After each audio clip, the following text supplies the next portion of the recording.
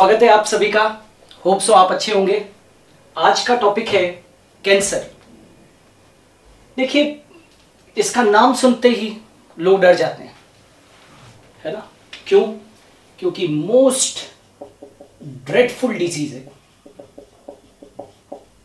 सबसे डरावनी डिज़ीज़ जैसे ही लोग नाम सुनते हैं कैंसर का तो लोगों को लगता है कि मौत पास में आ गई है। क्योंकि आज भी कई पेशेंट्स की डेथ हो जाती है। और बहुत सारा रिसर्च चल रहा है, लेकिन अभी भी कई सारे पेशेंट्स की डेथ हो जाती है। और लगभग इंडिया की बात करें तो one million per year cancer से ग्रस्त हो जाते हैं। और अधिकांश की मृत्यु होती है। अधिकांश की मृत्यु। इलाज चलता है लेकिन कई केसेस के अंदर क्या हो जाती है? मृत्यु हो जाती है। अब सबसे बड़ा सवाल यह है कि कैंसर क्या है? तो कैंसर यदि आपसे कोई पूछे कि कैंसर क्या है तो uncontrolled uncontrolled and uncontrolled and abnormal uncontrolled and abnormal cell division cause cancer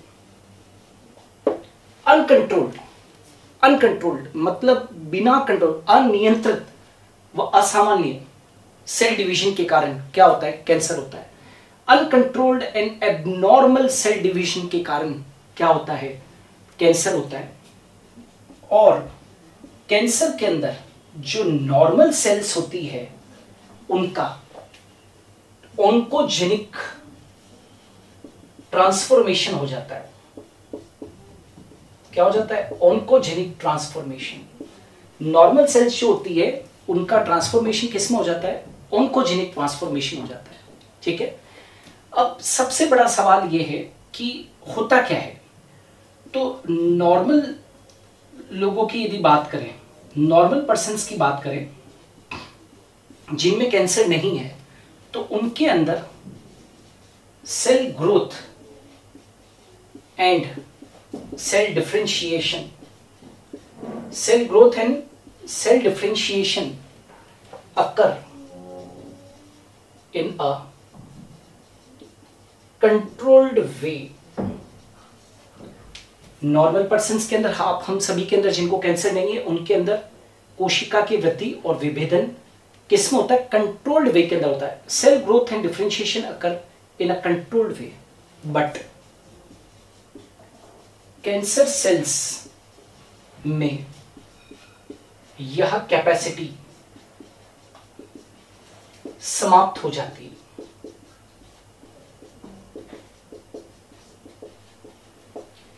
cancer cells का डिफ्रेंशिएशन ही नहीं होता है। याद रखना। कैंसर सेल्स का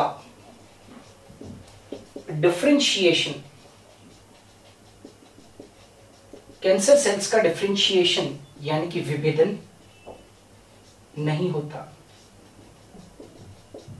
जबकि आप जानते हो कि नॉर्मल सेल्स जो नॉर्मल पर्सन के अंदर नॉर्मल सेल्स होगी, उसके अंदर सेल ग्रोथ और डिफ्रेंशिएशन एक कंट्रोल्ड वे के अंदर होता है। बट कैंसर सेल्स में कैपेसिटी समाप्त हो जाती है। सेल्स अनकंट्रोल्ड और एबनॉर्मल सेल डिवीज़न शो करती है। कैंसर सेल्स में, जैसा कि मैंने कहा है सेल ग्रोथ और डिफ्रेंशिएशन की जो कैपेसिटी है कंट्रोल्ड कैपेसिटी वो नष्ट हो जाती है। और कैंसर सेल्स का विभेदन नहीं हो पाता है। कैंसर सेल्स डिफ्रेंशिएट ही नहीं होती, जबकि नॉर्मल सेल्स के अंदर बाकायदा डिफ्रेंशिएशन होता है। और आप जानते हो कि जब सेल का डिफ्रेंशिएशन हो जाता है तो उसके अंदर डिवीज़न का पावर क्या हो जाता है? खत्म हो जाता है। लेकिन कैंसर सेल्स तो डिफ्रेंशिएट ही नहीं करेगी। हमेशा अनडिफ्रेंशिएटेड रहती है। तो अनडिफ्रेंशिएटेड रहने के कारण क्या होती रहेगी? रैपिडली डिवाइड करती रहेगी और रैपिडली डिवाइड करती रहेगी तो क्या होगा? वो कैंसर का कारक बनेगी, ठीक है? तो कैंसर सेल्स का डिफ्रेंशिएशन नहीं होता है। Plus there is there is no life span life span मतलब जीवन काल। There is no life span of cancer cells. There is no lifespan of cancer cells. Cancer cells का कोई लाइफ स्पान ही नहीं होता है. There is no life span जबकि नॉर्मल सेल्स का हमेशा एक जीवन काल होता है. लेकिन यहाँ पर ये जो लाइफ स्पान है इनका कैंसर सेल का, वो होता ही नहीं है. तो दो तीन चीज़ें याद रखना. पहली चीज़ कैंसर सेल्स का डिफ्रेंशिएशन नहीं होता है राइट प्लस इनकी लाइफ स्पान जो होती है कैंसर सेल की वो होती नहीं है, जबकि नॉर्मल सेल के अंदर लाइफ स्पान होती है। ठीक है? आगे बढ़े। अब ये जो कैंसर सेल्स है, और नॉर्मल सेल्स के अंदर एक बड़ा फ़र्क है, उस फ़र्क को समझने की कोशिश करें। उस फ़र्क को आपको समझना होगा। देखिए, जो नॉर्मल सेल्स होती है नॉर्मल सेल्स जो आप हम सभी के अंदर पाई जाती है नॉर्मल सेल्स के अंदर कॉन्टेक्ट इनहिबिशन का पावर उपस्थित। कॉन्टेक्ट इनहिबिशन का पावर उपस्थित। कॉन्टेक्ट इनहिबिशन का पावर उपस्थित। नॉर्मल सेल्स के अंदर क्या होता है? कॉन्टेक्ट इनहिबिशन का पावर जो होता है, वो उपस्थित होता है। अर्थात अर्थात क्या होता है? Cells which are which are in contact with each other. Cells which are in contact with each other. Right? वो क्या करती है? अनकंट्रोल डिवीज़न को रोकती है। Cells which are in contact with each other inhibit inhibit uncontrolled division इसको क्या बोलते हैं? कॉन्टेक्ट इनहिबिशन कहते हैं। Cells which are in contact with each other inhibits uncontrol division मतलब सेल्स जो आपस में कांटेक्ट में रहती है, एक दूसरे के संपर्क में रहती है राइट और अनकंट्रोल डिवीज़न को क्या करती है? रोकती है।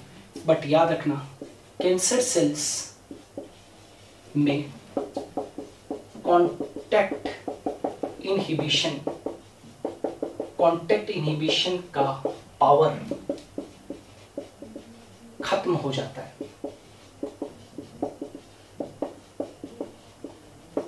क्या कहा मैंने? कैंसर सेल्स में कॉन्टेक्ट इनिबिशन का पावर खत्म हो जाता है। कॉन्टेक्ट इनिबिशन समझ में आ गया? Right cells which are in contact with each other inhibit uncontrolled division ये तो हमारे अंदर है, लेकिन कैंसर सेल्स में ये जो कॉन्टेक्ट इनिबिशन का जो पावर है, वो खत्म हो जाता है। अब प्रश्न ये उठता है कि कॉन्टेक्ट इनिबिशन का पावर जब खत्म हो जाएगा तो इससे क्या फ़र्क पड़ेगा? तो कॉन्टेक्ट इनहिबिशन का पावर जैसे खत्म होगा तो what will happen cells uncontrolled division करेंगे। कॉन्टेक्ट इनहिबिशन के पावर खत्म हो जाने से कॉन्टेक्ट इनहिबिशन का पावर खत्म हो जाने से सेल्स सेल्स क्या करेगी? अनकंट्रोल्ड क्योंकि अब उनके ऊपर कोई कंट्रोल तो रहेगा ही नहीं। अनकंट्रोल्ड मैनर में क्या करेगी? अनकंट्रोल्ड मैनर में डिवाइड करेगी एवं इस कारण इस कारण कोशिकाओं का एक समूह बन जाता है।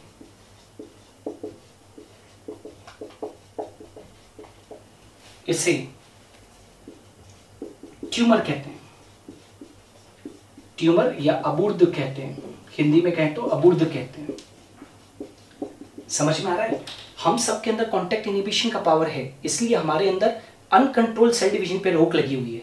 लेकिन कॉन्टेक्ट इनिबिशन का पावर जैसे खत्म हो जाता है तो सेल्स अनकंट्रोल्ड मैनर में क्या करेगी? डिवाइड करेगी। और इस कारण से कोशिकाओं का एक समूह बन जाएगा। और उस समूह को आप सभी ने सुना होगा। क्या कहते हैं? अबूर्द कहते हैं। अब ये जो ट्यूमर है, अबूर्द जो होता है, ट्यूमर, अबूर्द, वो भी दो प्रकार का होता है। Number one is benign tumour benign tumour सुदम, अबूर्द, और एक और होता है जिसको कि हम बोलते हैं malignant tumour malignant tumour malignant tumour जिसको बोलते हैं दुर्दम अबूर्द। दुर्दम अबूर्द, ठीक है? तो ट्यूमर जो है, वो एक तो बेनाइन ट्यूमर है और एक मेलिग्नेंट ट्यूमर है। सुदम अबूर्द और दुर्दम अबूर्द। सबसे पहले यदि हम बेनाइन ट्यूमर की बात करते हैं बेनाइन ट्यूमर तो बेनाइन ट्यूमर या जो सुदम अबूर्द है राइट ये क्या होता है? इसमें कोशिकाओं का विभाजन, इसमें कोशिकाओं का विभाजन धीमे होता है। कंपैरेटिवली है ना? मेलिग्नेंट ट्यूमर के कंपैरेटिवली धीमे होता है। यह ट्यूमर यानी कि अबूर्द एक स्थान पर, एक स्थान पर ही लोकेटेड रहता है। एक स्थान पर ही लोकेटेड रहता है एवं ब्लड या लिम्फ के साथ मूव नहीं करता।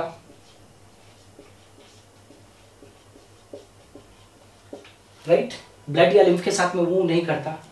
इसलिए शरीर को शरीर को ज़्यादा नुकसान, इसलिए शरीर को ज़्यादा नुकसान नहीं पहुंचाता।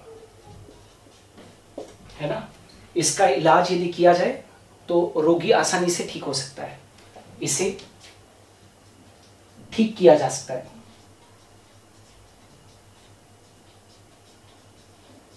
इसका उपचार किया जा सकता है ना? तो आमतौर के ऊपर बेनाइन ट्यूमर जिनको होता है, उनकी मौत नहीं होती है। इलाज यदि हो जाए प्रॉपर टाइम के ऊपर हो जाए तो बहुत ज़्यादा संभावना है कि व्यक्ति को नुकसान कम से कम होगा, उसकी मृत्यु नहीं होगी। तो इन कोशिकाओं, इनमें कोशिकाओं का विभाजन धीमे होता है। किसमें सुदम अबुर्द में। यह ट्यूमर एक स्थान पर लोकेटेड रहता है, यानी कि ब्लड और लिम्फ के साथ में मूव नहीं करता है। इसलिए एक ही जगह पे लोकेटेड रहेगा तो उस अबूर्द को आप सर्जरी के द्वारा हटा सकते हैं। इसलिए शरीर को ज़्यादा नुकसान नहीं पहुँचता है और इसको हम क्या कर सकते हैं? ठीक कर सकते हैं। लेकिन ये जो दुर्दम अबूर्द है, ये बहुत बहुत घातक होता है। दुर्दम अबूर्द जो है, वो बहुत बहुत क्या होता है? घातक होता है और ये शरीर को भारी नुकसान पहुँचा सकता है और काफ़ी केसेस के अंदर रोगी की क्या हो जाती है? मृत्यु हो जाती है। रोगी की मृत्यु हो जाती है। क्लियर तो अभी हम लोग कौन सा पढ़ रहे हैं? Tumour? That is, we can call it as malignant tumor. अभी कौन सा ट्यूमर पढ़ रहे हैं अपने? Malignant tumor.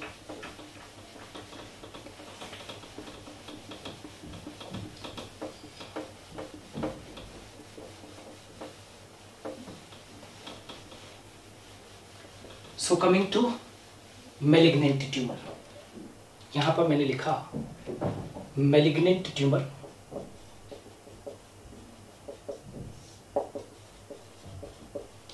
दुर्दम अबूर्त राइट देखो, इसमें विभाजन प्रारंभ में बहुत धीमे होता है, प्रारंभ में धीमा होता है। प्रारंभ में धीमा होता है। इसे लेटेंट स्टेज कहते हैं।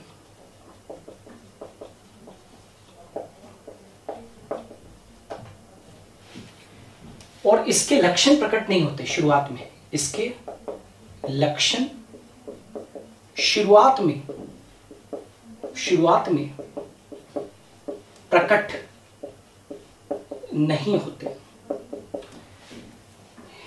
इसमें विभाजन प्रारंभ में कैसा होता है? धीमा होता है। इसे लेटेंट स्टेज कहते हैं। इसके लक्षण शुरुआत में प्रकट ही नहीं होते हैं।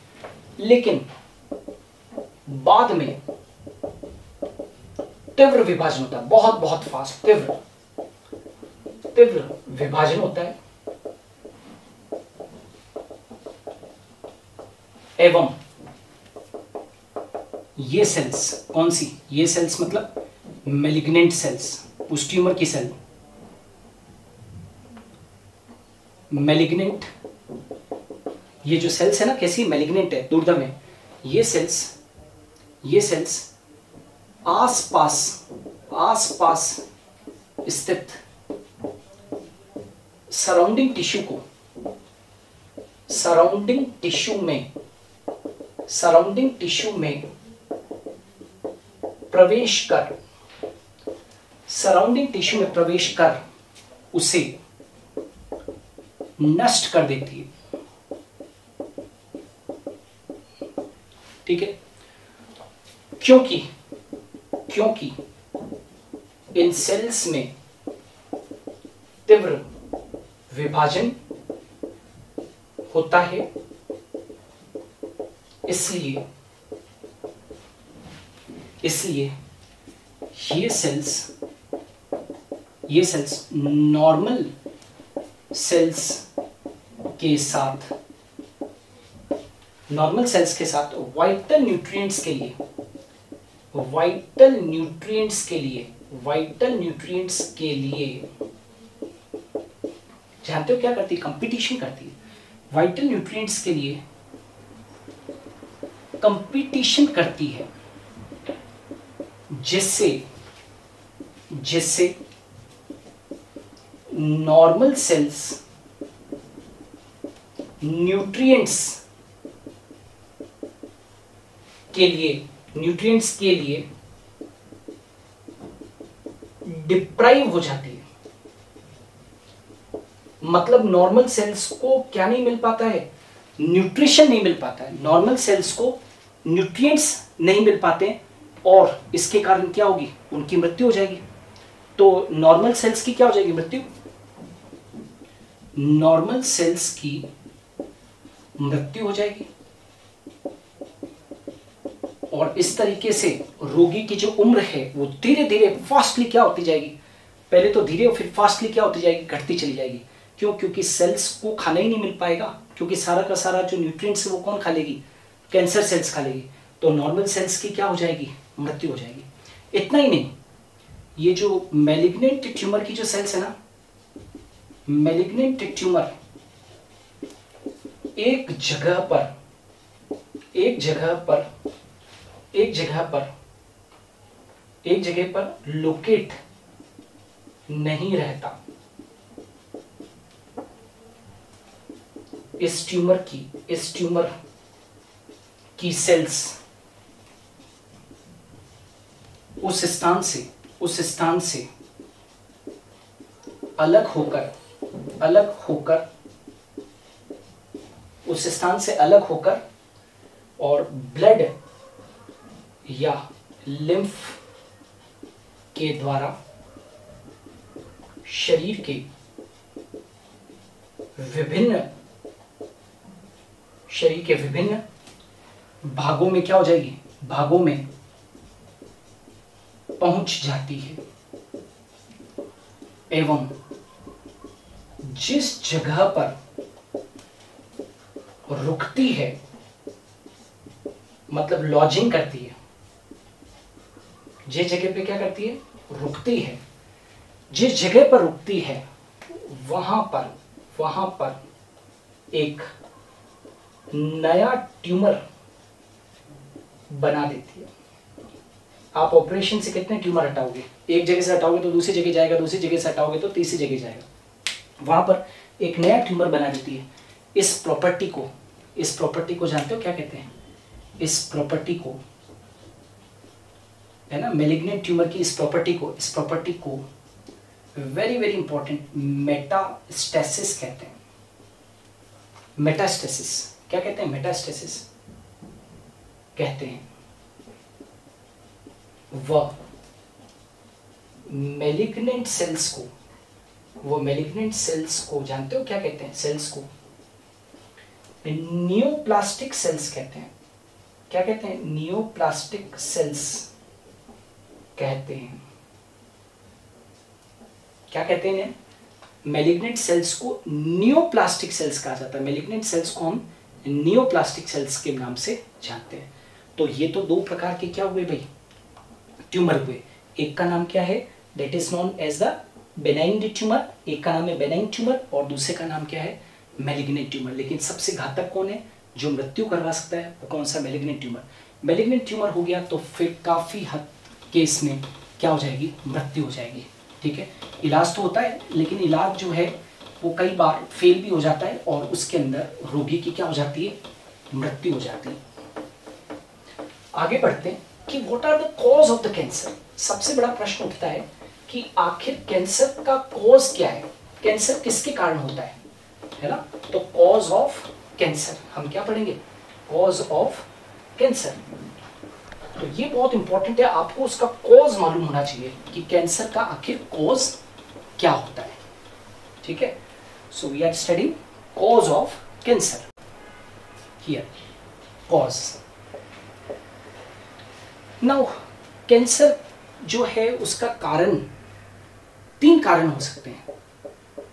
कोई फ़िज़िकल एजेंट हो सकता है फ़िज़िकल एजेंट हो सकता है। कैंसर का कारण फ़िज़िकल एजेंट हो सकता है? कोई केमिकल एजेंट हो सकता है? कोई केमिकल एजेंट हो सकता है? या फिर तीसरा, कोई बायोलॉजिकल एजेंट हो सकता है? मतलब भौतिक, रासायनिक या जैविक। भौतिक, रासायनिक या जैविक कोई भी कारक हो सकता है। जैसे कि यदि हम फ़िज़िकल एजेंट्स की बात करते हैं तो हम बात करेंगे रेडिएशंस की। कई विकिरण जो है, वो हमारे शरीर के अंदर कैंसर कर सकते हैं। कई विकिरण जो है, वो हमारे शरीर के अंदर क्या कर सकती है? कैंसर कर सकती है। जैसे कि मैं यहाँ पर नाम लिखना चाहूँगा एक्सरेज दूसरा है gamma rays X rays gamma rays और नॉन आयोनाइजिंग रेडिएशन में नॉन आयोनाइजिंग रेडिएशन में हम बात करेंगे किसकी? यूवी रेज की। पराबैंगनी विकिरणें। पराबैंगनी विकिरणें। पराबैंगनी विकिरणें, ठीक है? फ़िज़िकल एजेंट्स में हम किसको पढ़ेंगे? रेडिएशंस को पढ़ेंगे। एक्सरेज गामा रेज और non ionising radiations UV rays जैसे आपने सुना होगा कि यूवी रेज स्ट्रेट कुछ समय बाद में ओजोन का होल बड़ा हो जाएगा। यूवी रेज स्ट्रेट आएगी और कई लोग जो है वो स्किन कैंसर से प्रभावित हो जाएँगे। एक्सरेज आप करवाने जाते हैं तो एक्सरे रूम के बाहर लिखा होता है, कृपया कर रोगी के साथ में आए, परिजन अंदर ना आए। एक्सरे शरीर के लिए घातक हो सकती है। तो ये जो है वो तो क्या है? आयोनाइजिंग रेडिएशन है। इनका पेनिट्रेशन पावर ज़्यादा होता है, इनका पेनिट्रेशन पावर कम होता है। तो ये स्किन को अफेक्ट करती है।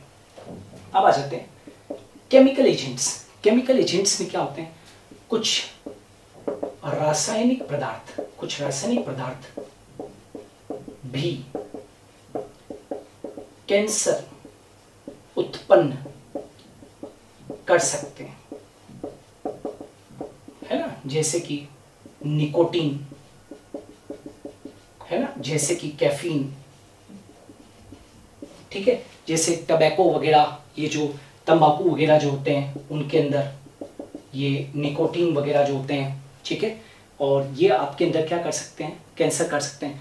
आप जानते हो, भारत के अंदर जो माउथ कैंसर वगैरह है, वो कितना कॉमन है। भारत के अंदर जो माउथ कैंसर है, वो बहुत बहुत कॉमन है। ठीक है? तो कुछ रासायनिक पदार्थ क्या कर सकते हैं? कैंसर उत्पन्न कर सकते हैं। और बायोलॉजिकल एजेंट्स के अंदर, यदि मैं बात करूँगा तो ओंको वायरसेस का ज़िक्र करना यहाँ पर बहुत ज़रूरी है। एग्ज़ाम में क्वेश्चन पूछते हैं। ओंको वायरस ओंको वायरस क्या होते हैं? Cancer causing virus cancer causing virus को क्या बोलते हैं? ओंको वायरस एवं इनके भीतर स्थित, इनके भीतर स्थित, इनके भीतर स्थित जीन्स को, इनके भीतर स्थित जीन्स को ओनको जीन्स कहते हैं। इनके भीतर स्थित जीन्स को क्या कहते हैं? ओनको जीन्स कहते हैं। क्लियर तो बायोलॉजिकल एजेंट्स में क्या है? ओनको वायरस है कैंसर कॉजिंग वायरस है, एवं इनके भीतर स्थित जीन्स को ओनको जीन्स कहते हैं। और एक और चीज़ यहाँ पर बताना चाहूँगा। नॉर्मल सेल्स में नॉर्मल सेल्स में proto onco genes proto onco genes है ना, जिसको पी ऑनक एवं C onc right normal cells में प्रोटो ऑनको जीन्स और सी ऑन ऑन यानी कि सी ऑनको जीन्स जीन्स उपस्थित। राइट यदि यदि इन जीन्स को प्रेरित कर दिया जाए नॉर्मली तो ये ऐसी पड़ी रहती है, लेकिन इन जीन्स को प्रेरित कर दिया जाए, है ना? सी ऑन्कोजीन्स मतलब सेल्यूलर ऑन्कोजीन्स सेल्यूलर ऑन्कोजीन्स यदि इन जीन्स को प्रेरित कर दिया जाए तो ये कैंसर कारक बन जाती है। ये क्या बन जाती है? कैंसर कारक बन जाएगी। तो नॉर्मल सेल्स में प्रोटोन को जीन्स और सेलुलर उनको जीन्स ही जीन्स पाई जाती है। वैसे तो ये नॉर्मल पड़ी रहती है, लेकिन इन सेल्स को, इन जीन्स को यदि प्रेरित कर दिया जाए तो फिर ये कैंसर कारक की तरह काम कर सकती है। अच्छा एक और चीज़ बताना चाहूँगा कि ये बताना ज़रूरी कार्सिनोजन कार्सिनोजन क्या है? तो कोई भी कारक हो सकता है। Cancer causing agent, cancer causing agent, cancer causing agent is called carcinogen.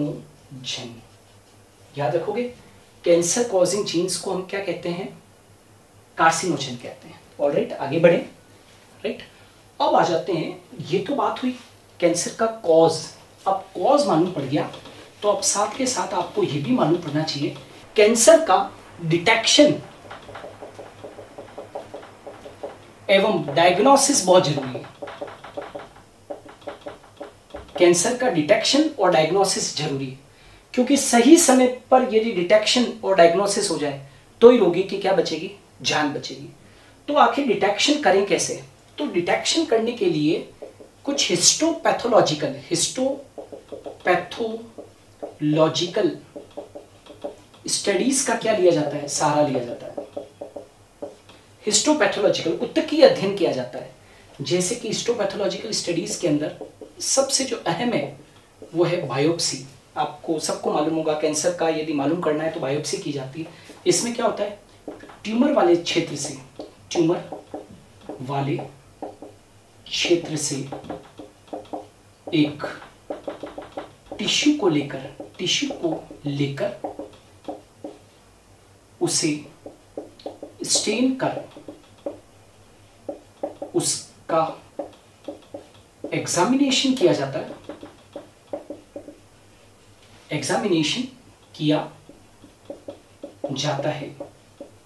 कि उसमें मेलिग्नेंट सेल है या नहीं? मेलिग्नेंट सेल्स है या नहीं? यदि मेलिग्नेंट सेल नहीं है तो इट्स ओके okay. वो कैंसर नहीं होगा उसको और, क्योंकि हर ट्यूमर ज़रूरी नहीं कि हर ट्यूमर कैंसर ही हो। हर शरीर के अंदर होने वाली गांठ कैंसर ही हो, ये कोई ज़रूरी नहीं। तो उसको स्टेन कर एग्जामिनेशन किया जाता है, उसमें मेलिग्नेंट सेल यदि है तो फिर घोषित किया जाता है कि उस व्यक्ति को क्या हो सकता है? दैट इज़ कैंसर हो सकता है। ठीक है? अब आ जाते हैं नेक्स्ट वन बायोप्सी के अलावा और क्या है? रक्त जाँच की जाती है। उसके अंदर यदि डब्ल्यूबीसी का नंबर डब्ल्यूबीसी का नंबर ज़रूरत से ज़्यादा आ जाए, ज़रूरत से ज़्यादा आ जाए तो यह ब्लड कैंसर हो सकता है। ब्लड कैंसर हो सकता है। जैसे मान लीजिए नॉर्मल पर्सन के अंदर नॉर्मल पर्सन के अंदर जो डब्ल्यू होती है वो कितनी होती है? छः हज़ार से लगाकर और आठ हज़ार या ग्यारह हज़ार तक। छः हज़ार से आठ हज़ार per cubic M M of blood per cubic M M of blood ग्यारह हज़ार तक भी हो सकती है ना? कोई दिक्कत नहीं है। लेकिन यदि ये बहुत ज़्यादा बढ़ जाए, चालीस हज़ार, पचास हज़ार, साठ हज़ार हो जाए तो it may be a case study of cancer इसके अलावा और क्या क्या एक्सरेज का यूज़ किया जाता है? एक्सरेज का यूज़ करते हैं डिटेक्शन वगैरह के लिए। और किसका यूज़ होता है? सीटी स्कैन का यूज़ होता है। सीटी स्कैन का भी यूज़ जो है, उस सीटी स्कैन में भी एक्सरेज का प्रयोग होता है। Three dimensional three dimensional image को प्राप्त किया जाता है।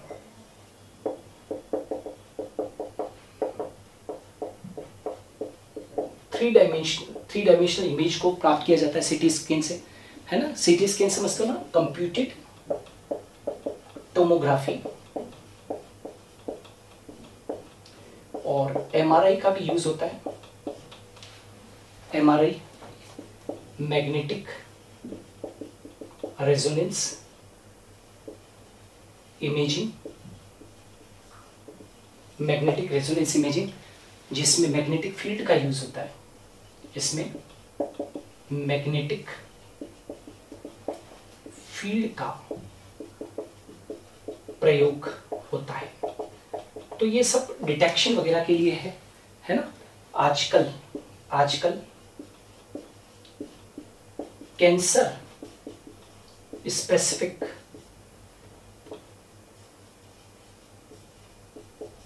antigen cancer specific antigen के खिलाफ. कैंसर स्पेसिफिक एंटीजन के खिलाफ.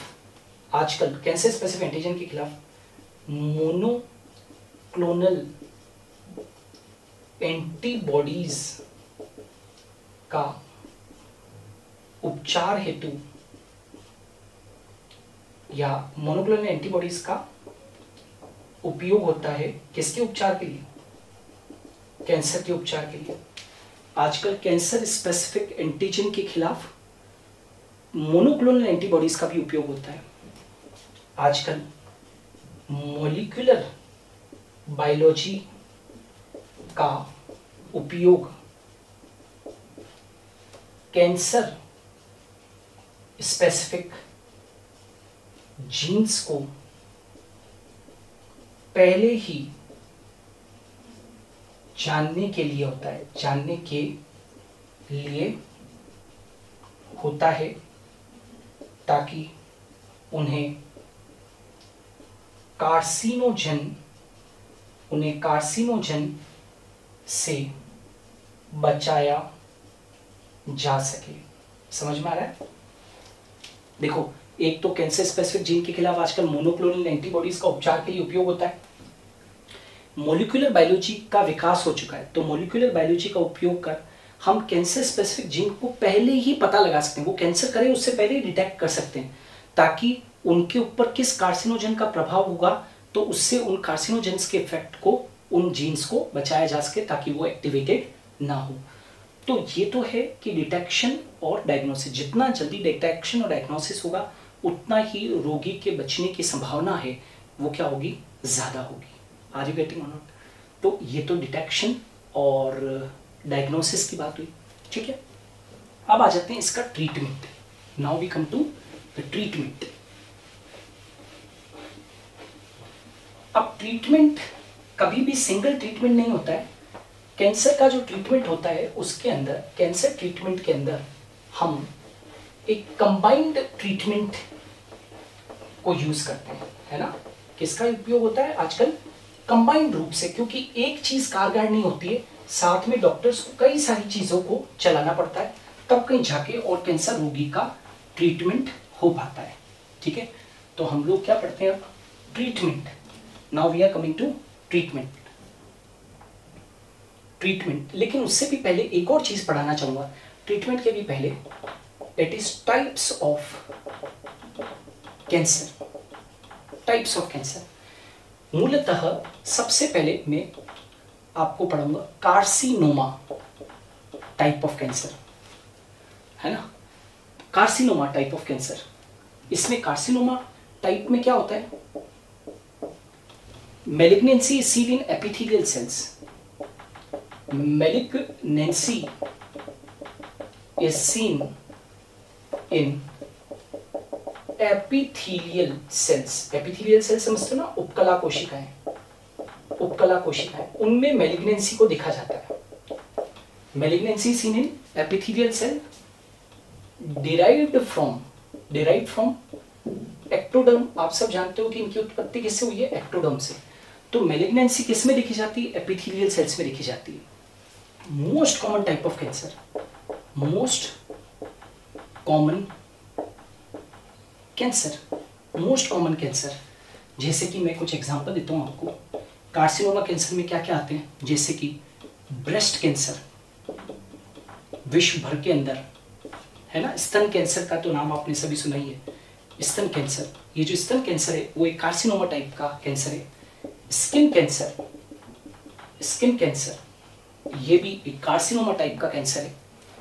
दूसरा, भारत में बहुत कॉमन है सर्वाइकल कैंसर सर्वाइकल कैंसर मतलब समझते हो? यूट्रस के सर्विक्स में कैंसर यूट्रस के सर्विक्स में कैंसर ठीक है? इसी प्रकार से लंग कैंसर ये सब किसमें आते हैं? कार्सिनोमा में आते हैं। जहाँ पर मेलिग्नेंसी किसमें देखने को मिलती है? उपकला कोशिकाओं में। जिनकी उत्पत्ति किससे हुई है? एक्टोडोम से हुई है। दूसरा सार्कोमा टाइप सार्कोमा टाइप ये सार्कोमा टाइप क्या होता है? तो malignancy is seen in cells developed from mesoderm है ना? Malignancy seen in cells develop from mesoderm mesoderm से उत्पन्न जो कोशिकाएँ होगी उनके अंदर क्या होगा? मेलिग्नेंसी देखने को मिलेगी। जैसे सार्कोमा टाइप के अंदर आपको देखने को मिलेगा, विशेष तौर से आपको देखने को मिलेगा बोन कैंसर है ना? कार्टिलेज के अंदर कैंसर होना बोन के अंदर कैंसर होना कार्टिलेज के अंदर कैंसर होना टेंडन के अंदर कैंसर होना, ठीक है? एडिपोज टिश्यू के अंदर कैंसर होना, है ना? एडिपोज टिश्यू में। मतलब एक तरीके से यहाँ पर यदि आप देखोगे सार्कोमा में तो कनेक्टिव टिश्यू क्या होता है? कई बार प्रभावित होता है। एडिट कनेक्टिव टिश्यू प्रभावित। ठीक है? और तीसरा जो टाइप है, वो है ल्यूकेमिया ल्यूकेमिया इसको बोलते हैं ब्लड कैंसर मतलब बोन मैरो में। ये कब होता है? बोन मैरो में। बहुत ज़्यादा संख्या में, बहुत ज़्यादा संख्या में संख्या में डब्ल्यू के निर्माण होने से डब्ल्यूबीसी के निर्माण होने से ब्लड कैंसर होता है। ब्लड कैंसर होता है, ठीक है? तो इसको क्या बोलते हैं? ल्यूकेमिया। तो ये भी ध्यान रखिए कि टाइप्स ऑफ़ कैंसर कौन से? कार्सिनोमा सबसे कॉमन प्रकार का है सार्कोमा और ल्यूकेमिया। याद रखेंगे। अब आ जाते हैं नेक्स्ट लास्ट वन और वो है, ये क्लियर है ना भाई? अब आ जाते हैं ट्रीटमेंट ट्रीटमेंट ऑफ़ कैंसर आखिर ट्रीट कैंसर का ट्रीटमेंट कैसे करते हैं? कैंसर का ट्रीटमेंट कैसे होगा? वो देखिए।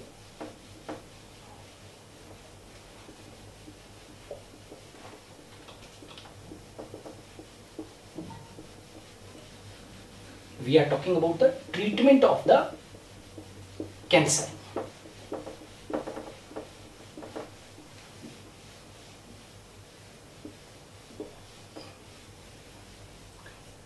Here treatment, उपचार।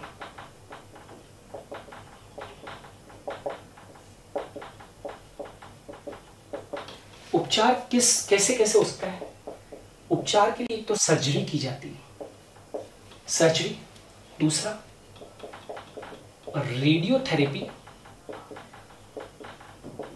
रेडियोथेरेपी तीसरा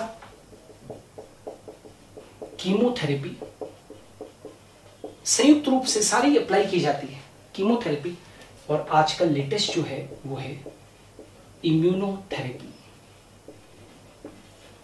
ये सब साथ में चलाए जाते हैं, है ना? जैसे कि सबसे पहला, यदि हम सर्जरी की बात करते हैं तो सर्जरी के अंदर क्या किया जाता है? ट्यूमर वाले स्थान को हटा दिया, जैसे मुँह के अंदर पूरा एक बड़ा सा ट्यूमर बन गया है तो पूरे के पूरे घाल को ही हटा दिया जाता है। या स्तन के अंदर हुआ है तो पूरे स्तन को काट कर अलग कर दिया जाता है। ताकि वो जो मेलिग्नेंट सेल का जो समूह है है ना, जो कि बॉडी के अंदर फैल रहा है मेलिग्नेंट से फैला रहा है, उसको रिमूव कर दिया जाए। तो सर्जरी के द्वारा क्या करते हैं? ट्यूमर को ट्यूमर को हटा दिया जाता है। सर्जरी के द्वारा क्या कर देते हैं? हटा देते हैं। राइट नंबर दो रेडियोथेरेपी रेडियोथेरेपी रेडियोथेरेपी में क्या करते हैं? ट्यूमर वाले स्थान पर रेडिएशंस डाली जाती है। रेडिएशंस डाली जाती है। ट्यूमर वाले स्थान पर क्या डालते हैं? रेडिएशन डाली जाती है, लेकिन सराउंडिंग नॉर्मल सेल्स का ध्यान रखा जाता है। नॉर्मल सेल्स का ध्यान रखा जाता है। सराउंडिंग नॉर्मल सेल्स का ध्यान रखते हुए ट्यूमर वाले स्थान पर रेडिएशन डाली जाती है। तो उनको इरेडिएट किया जाता है लीथली है ना? Cells are tumour cells are tumour cells are irradiated lethally घातक रूप से उनके ऊपर विकेनों को डाला जाता है और ताकि वो क्या हो जाए किल हो जाए। लेकिन सराउंडिंग सेल्स का ध्यान रखा जाता है। तीसरा, साथ के साथ कीमोथेरेपी भी चली जाती है। जिसमें दवाइयाँ दी जाती है। रोगी को क्या दी जाती है? दवाइयाँ। दवाइयाँ दी जाती है। जैसे एक उदाहरण देता हूँ आपको। बहुत कॉमन है। विन ब्लास्टिन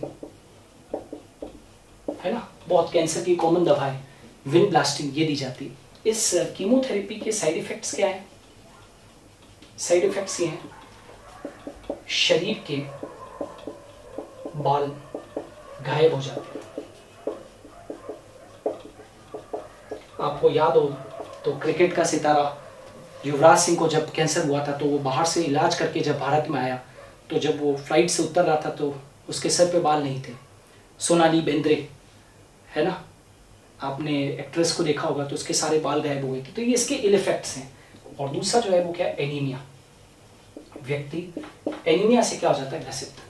तो ये कीमोथेरेपी के साइड इफेक्ट्स हैं।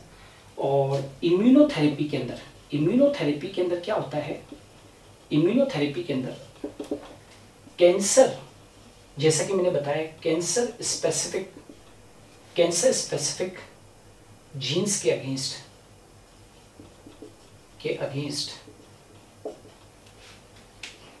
या कैंसर स्पेसिफिक एंटीजन के अगेंस्ट एंटीजन के अगेंस्ट मोनोक्लोनल एंटीबॉडीज का उपयोग होता है। मोनोक्लोनल एंटीबॉडीज का उपयोग होता है। ठीक है? मोनोक्लोनल एंटीबॉडीज का उपयोग होता है। तो ये इम्यूनोथेरेपी अच्छा एक चीज़ याद रखना। कैंसर सेल्स को। इम्यून सिस्टम डिटेक्ट नहीं करता। कई बार होता है ना कि सर प्रतिरक्षा तंत्र अपने पढ़ रहे हैं चैप्टर में तो इतने सारे रोगों से प्रतिरक्षा मिल जाती है तो कैंसर से भी हमारे शरीर के अंदर प्रतिरक्षा विकसित हो जानी चाहिए। बट कैंसर सेल्स को इम्यून सिस्टम डिटेक्ट नहीं करता है राइट इस कारण इस कारण आजकल हम, क्योंकि हमारा इम्यून सिस्टम तो डिटेक्ट करेगा इसलिए आजकल हम आजकल हम biological biological response modifiers modifiers जैसे जैसे अल्फ़ा इंटरफेरोन्स इंटरफेरोन्स का उपयोग करते हैं, जो इम्यून सिस्टम को, जो इम्यून सिस्टम को कैंसर सेल्स के अगेंस्ट काम करने के लिए, काम करने के लिए प्रेरित करता है। जो इम्यून सिस्टम को कैंसर सेल्स के अगेंस्ट काम करने के लिए प्रेरित करता है तो कैंसर सेल्स को इम्यून सिस्टम डिटेक्ट नहीं कर सकता। है लेकिन आजकल बायोलॉजिकल रेस्पॉन्स मॉडिफायर्स हैं, वो अवेलेबल है, जैसे अल्फ़ा इंटरफेरोन्स जो कि इम्यून सिस्टम को कैंसर सेल्स के अगेंस्ट काम करने के लिए क्या करेंगे? प्रेरित करेंगे। तो ये क्या था? ट्रीटमेंट था। और ये जो कैंसर आजकल ज़्यादा किस लिए हो रहे हैं? पहले तो ज़्यादा कैंसर नहीं होता था, लेकिन आजकल तो हम अपने पड़ोस के अंदर, अपने स्कूल के अंदर, कॉलेज के अंदर सुनते हैं कि कल तक वो जो था पर्सन, वो बिल्कुल ठीक था और आज उसको कैंसर हो गया उसका कारण है कि ये किन प्रकार हमारी बॉडी के अंदर किसी भी तरीके से हार्मफुल केमिकल जा रहे हैं, कार्सिनोजेंस जा रहे हैं, ठीक है? जैसे वहाँ पर पंजाब में या और दूसरी जगह पे खेती हो रही है तो फर्टिलाइज़र बहुत ज़्यादा यूज़ हो रहे हैं। तो कार्सिनोजेंस जो है वो आपके अंदर शरीर के अंदर गेहूँ के माध्यम से या अनाज के माध्यम से आपके शरीर के अंदर आ रहे हैं और उसकी वजह से हमको क्या हो जाता है आ, सब जगह पर पूरे भारत के अंदर आजकल केमिकल फर्टिलाइजर्स यूज़ हो रहे हैं तो उसके कारण शरीर के अंदर कार्सिनोजेंस पहुँचते हैं और वो कैंसर कारक हो सकते हैं। इसलिए कोशिश करें कि इन कैंसर कारकों से आप बचने की कोशिश करें लेकिन बचा नहीं जा सकता वो किसी भी रूप में आपके शरीर के अंदर आ सकते हैं। फिर भी कोशिश करनी चाहिए कि हम कार्सिनोजन से बच सके। ऑल राइट सो आज का वीडियो था हमारा, वो पूरा के पूरा कैंसर के ऊपर था। मैं आने वाले दिनों के अंदर बहुत सारे नए नए टॉपिक्स लेके आ रहा हूँ। तो उसके लिए इंतज़ार के लिए, तब तक के लिए धन्यवाद।